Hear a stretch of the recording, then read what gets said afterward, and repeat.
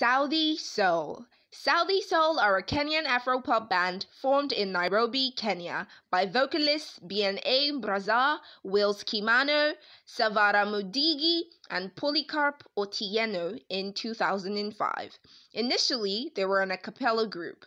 Sauti Sol are known and loved for their unique sound and style of music. They have gone on to win and be nominated for several awards, including the BET Awards, MTV Awards, Channel O Awards.